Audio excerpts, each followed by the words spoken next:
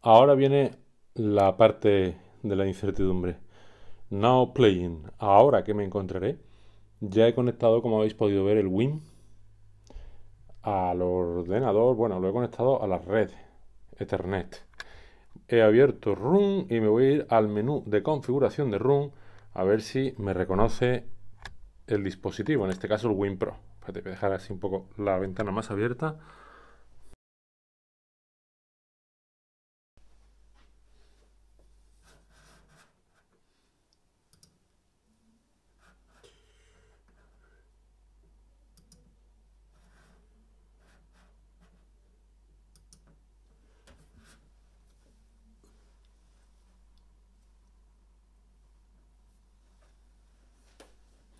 Y ahí podemos ver a la primera. El WinPro Plus Receiver. WinPro Plus Receiver. Bueno, lo voy a activar y lo voy a configurar y a ver qué tal funciona. Directamente a escuchar música.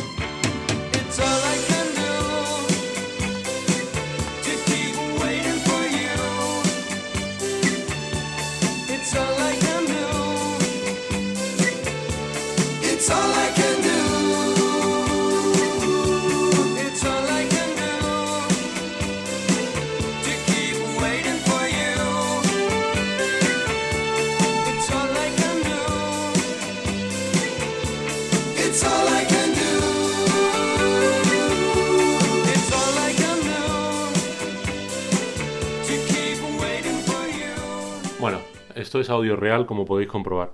Es la única canción que a mi modo de ver se salva del disco, pero cuestión de gustos. Habrá que le guste, a mí particularmente no me gusta mucho.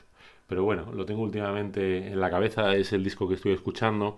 Así he tomado las referencias de las últimas escuchas que he hecho, así que en definitiva pues es el que he utilizado. Aunque, como dije, reconozco que hay cosas infinitamente mejores y no termina de gustarme. Este tema se salva. Muy pegadizo, popero, facilongo, lo que queráis, pero bueno, ahí está. Vamos a probar otras cosas. Voy a ver qué tal va con la aplicación de tableta Room. A ver cómo funciona. A ver qué tal va el Win Pro.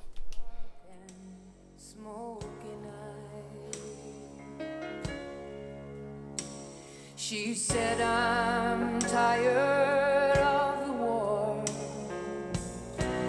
want the kind of work I had before.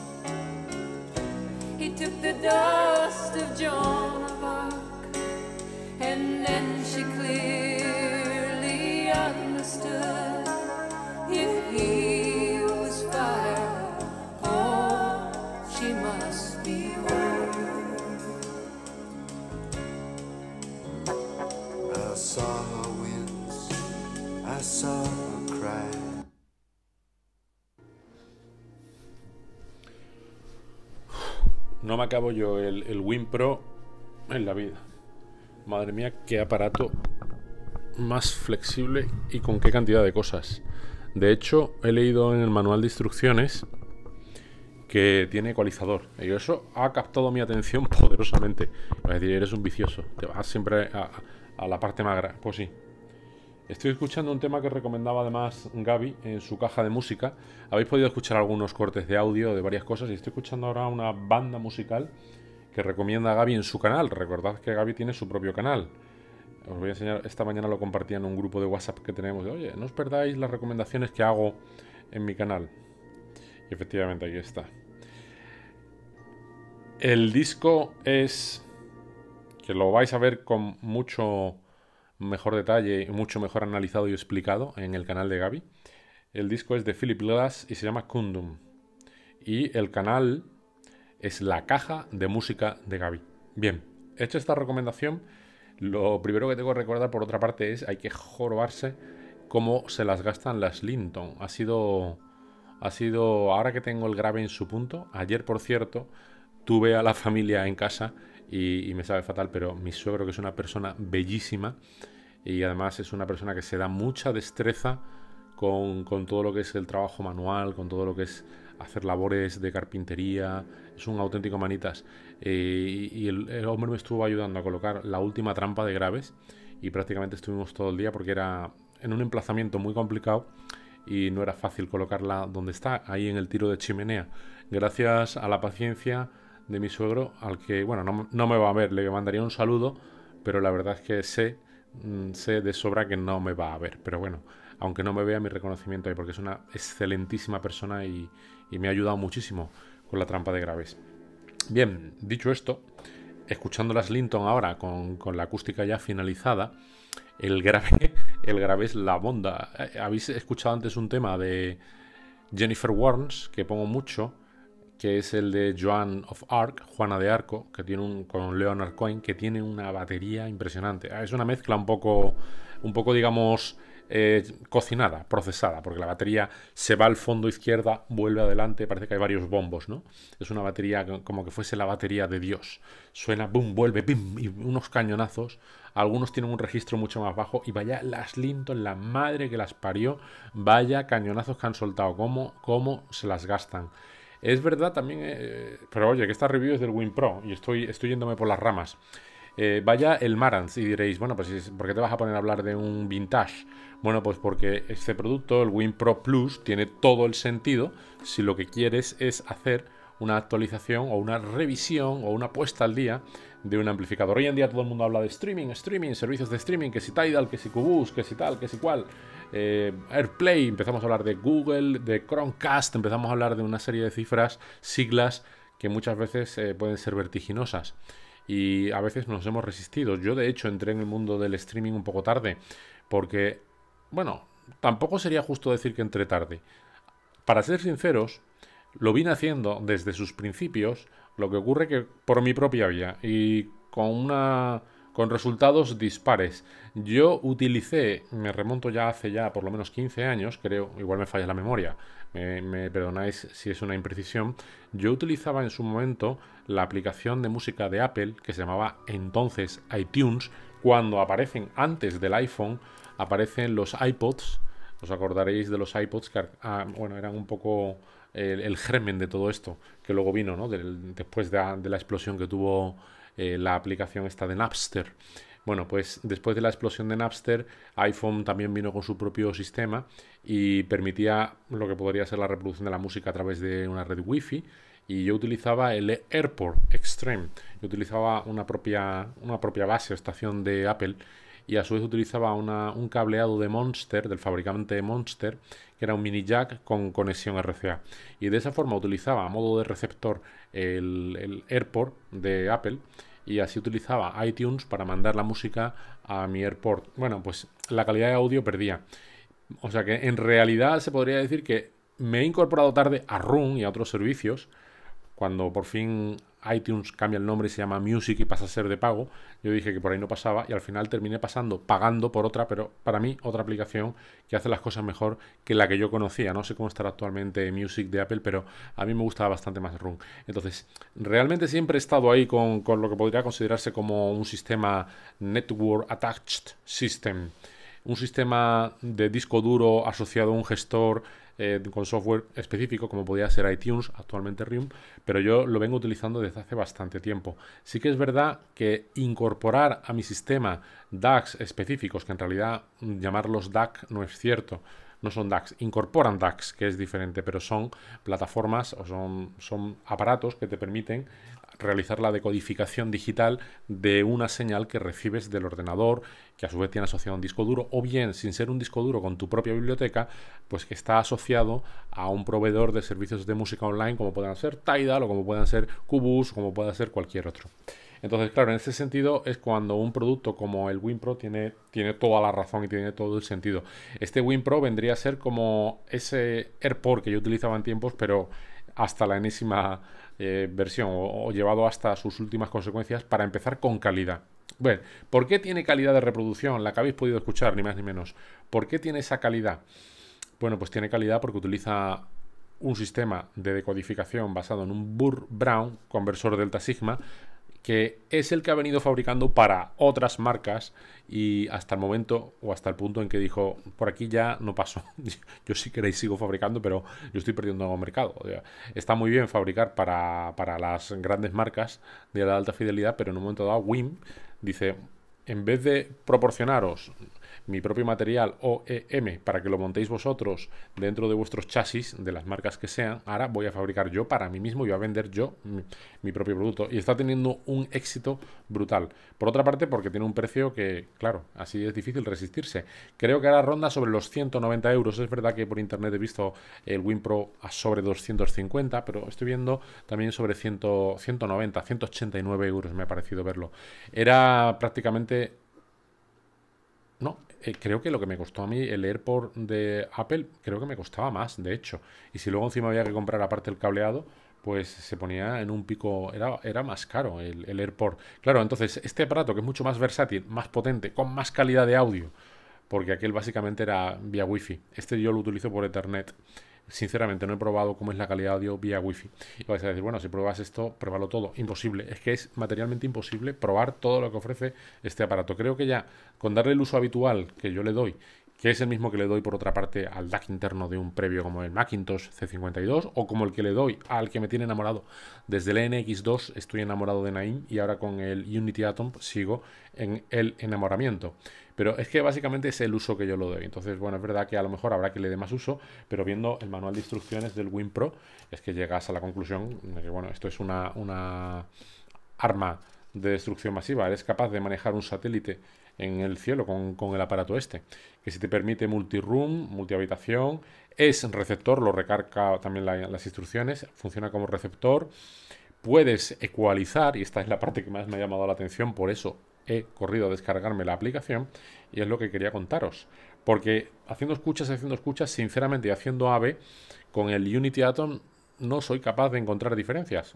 Y diréis, pero de verdad tan bueno es. Bueno, es que no es de extrañar, quiero decir, ni es de mérito de un aparato que cuesta muchísimas más veces. Tampoco, no caigamos en ese, en ese error que lo fácil es decir, oh, esto es una maravilla, es un aparato que por 190 y tantos, por 200 euros, suena como uno de 4000, ¡Oh, que arda Troya a las barricadas. No, no caigamos en ese error.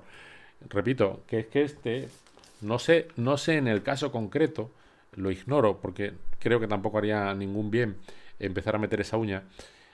No sé exactamente para quién ha estado fabricando Win pero es muy probable que Wing haya fabricado y puedas encontrar algo muy semejante al propio Wing en las tripas de algunos componentes supuestamente de alta fidelidad, alto nivel o de high-end, con lo cual no es de extrañar que sean indistinguibles. Como no es de extrañar, ya sabes que esto es línea filosófica del canal, que sea prácticamente distinguible de otra fuente que utilice el sistema de conversión delta sigma, sean los ESS, sean los Burr Brown, hay quien dice que los AKM suenan distintos, a mí particularmente me suenan todos muy parecidos, entonces no es de extrañar y no es ni de mérito de aquellos otros más caros, ni tampoco sea un mérito este. Sencillamente es que es el mismo que montan otros muchos y por tanto, pues obviamente va a ser muy difícil distinguirlo. Bueno, en eso me quedo. El, bueno, no, quería yo entrar aquí a analizar porque si, si te paras a ver todas las leyendas, los dibujitos, los santos, como decía mi abuela. Mi abuela cuando leía eh, la pobre que no sabía leer muy bien, mi abuela que me quería muchísimo decía cuando estaba leyendo algo, y así ella seaba ella iba leyendo poco a poco y, sobre todo se detenía mucho la foto y me decía, es que a mí me gustan mucho los libros que tienen santos, refiriéndose a fotografías o, dibujos. Bueno, si te detienes a leer los santos que tiene la caja del WIM, sospechosamente parecida a la de un AirPort o a un producto de Apple, pues claro, esto es un no parar. Spotify, Deezer, Tidal, Cubus, Amazon Music, TuneIn, Napster, iHeartRadio, VTuner, Pandora, SoundCloud, y aquí, que si con Chromecast built-in lo puedes manejar con Alexa, le puedes hablar, le puedes contar tu vida, a su vez hace de psicoanalista, es Wireless Multiroom Audio, AirPlay 2 Receiver, énfasis en lo del receiver, es receptor de AirPlay, no es un emisor de AirPlay, y luego además es compatible con formatos de alta resolución, hasta 192 kHz, 24 bits, Perfect Audio Output. Bueno, pues ya está. Con todo esto, y se parece tanto a otros productos que están haciendo otros fabricantes con gran éxito, por ejemplo como iFi, en cuanto que ya te viene totalmente cableado. Los cables podrán ser mejores o peores, pero claro, por este precio, pues trae un RCA, trae un cable óptico, trae su propia conexión para USB, porque se carga a través de USB-C, USB-B, con lo cual viene todo enfundado en una cajita bien compacto. Y ahora, ahora, aparte de todo esto, que lo podéis ver sobradamente y os podréis tirar varios días viéndoos viendo qué es capaz de hacer. A mí lo que me interesa es eso que he visto de la ecualización. Me acabo de descargar su aplicación, aquí está, se llama WinPod. WinPod, voy a ver qué hace el WinPod. De momento lo está funcionando con Room perfectamente. Ya habéis visto en el vídeo que ha sido coser y cantar. Dice permitir. A ver qué hace. Este siguiente. Ubicación. No sé por qué demonios quiere mi, ubicación. Pues no, no te voy a dar mi, mi ubicación. Quiero usar Bluetooth. Venga, te voy a dejar usar el Bluetooth. Hay una nueva versión, actualizamos. WinPlus, tal, la está descargando. Descargando. Download. Stage 1 de 3. No desenchufes. Cinco minutos. Ya estamos. Ya estamos. Ya estamos echando cinco minutos. Pues voy a tener que seguir hablando cinco minutos. Vais a poder ver en la línea 1 está conectado el WinPro. En la línea 2 está el Naim. El Naim tiene más voltaje de salida, con lo cual he tenido que jugar un poquitín con los volúmenes, como permite Room, afortunadamente, y le he ido quitando presión sonora, bueno, ganancia, al Unity Atom, ¿vale? Para que sonasen los dos igual. Ahora mismo está sonando el mismo tema y está sonando por ambos, al mismo tiempo simultáneamente, por el WinPro y por el Naim. Entonces en la línea 1 está el WinPro, línea 2 el Naim. Voy a ir haciendo clic, clic, clic para ver si vosotros sois capaces de ver la, la diferencia.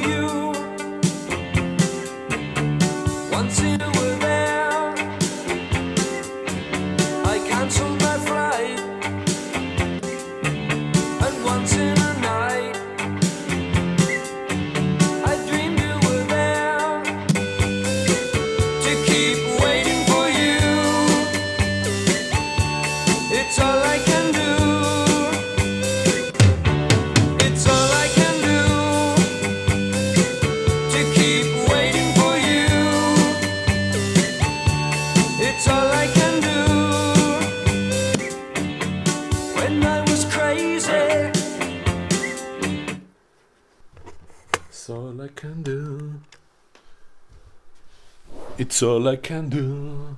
Bueno, pues nada, para no gustarme el disco, bien que lo estoy poniendo últimamente, esa canción sí que me gusta. Pues habéis podido escuchar en tiempo real. A ver, quizás con el tema de Kundum de Philip Glass es más complicado porque, bueno, es música instrumental y encima, pues es una banda sonora, es etérea, atmosférica, en fin, así es difícil. Pero bueno, Luego he querido pasar al tema de los cars para que efectivamente vieseis ya con un contenido musical más, más habitual, más usual, en el que sí que podemos ver el impacto que tiene la batería, la voz, cómo suena el sintetizador. Eh, personalmente, y desde donde yo estaba sentado cerca del altavoz, yo no era capaz de encontrar diferencias. A lo mejor no he hilado fino, creo que sí, pero es posible que no haya hilado muy fino con la diferencia de presión sonora. En el caso del Naim he puesto, creo que ha sido a 82 el potenciómetro, en el caso del Win Pro estaba al 100 y así más o menos sonaban parejo. Eh, eso quiere decir que el Naim tiene una salida más alta, más elevada que el Win Pro, pero bueno, el Win Pro es capaz de, de excitar sin problemas el Marantz, con lo cual, bueno, yo creo particularmente que no he encontrado diferencias y eso, como dije, tampoco, tampoco hay que ser triunfalistas, es decir, eh, hay que tener en cuenta que este fabricante lleva haciendo esto desde hace mucho tiempo para otros, con lo cual eh, pues sigue sonando igual de bien que cuando lo hacía para otros, solo que ahora utiliza un propio chasis y lo hace ya ofreciéndose en el mercado como tal. Entonces yo no sé en el caso concreto si Naim utiliza un módulo fabricado por WinPro, la verdad es que no, lo sé, pero sí que es curioso que Naim utiliza Burr Brown igualmente. A partir de ahí, bueno, pues la flexibilidad, la operatividad que tiene el WinPro es una y la que tiene un producto como el Naim, pues otra totalmente distinta. Creo que no son comparables más allá de una, bueno, pues en fin, de una prueba de café rápido como una Café Racer Review, como hemos hecho en este caso. Pues nada, con esto creo que ya tenemos una visión global de lo que es capaz de hacer este WinPro y mm, la verdad no me extraña que tenga tantos seguidores. Hay dos productos el, el, otro segundo producto no lo he probado yo, lo ha probado Gaby y lo vais a poder ver, aunque lo publique en mi canal. Eh, es un producto que probó Gaby, que está también, son de los que se está hablando mucho últimamente, que es el Eversolo. El otro día yo tuve ocasión de escucharlo además en una tienda. Lo pude escuchar con, con el amplificador integrado de Rose, el, el que utiliza los GANFETs, ese que parece de estética negra en algunos aspectos, el, creo que es el 150, lo puedo escuchar con unas monitor audio acojonantes, me gustó mucho, eh, pero la review del Eversolo la va a hacer Gaby. Y sí que es verdad que hay dos productos de los que se está hablando mucho. Se está hablando muchísimo, muchísimo a nivel internacional de este Win Pro y se está hablando mucho también del Eversolo. Y no me extraña porque son productos, son agradables de hacer review, son productos mm, gratificantes por lo que tienen de democratización para la alta fidelidad, porque por una fracción de precio que yo creo que prácticamente todo el mundo antes o después se puede llegar a permitir, pues actualizas un amplificador como este mío, como el Marantz, que pues bueno, pues es de otra época, de otro momento, de otro tiempo, de otro lugar y evidentemente pues no tiene estas, estas flexibilidades operativas que nos ofrecen estos modernos sistemas. Entonces, bueno, pues no me extraña que el aparato esté teniendo bastante éxito. Como siempre, muchísimas gracias por vuestra atención.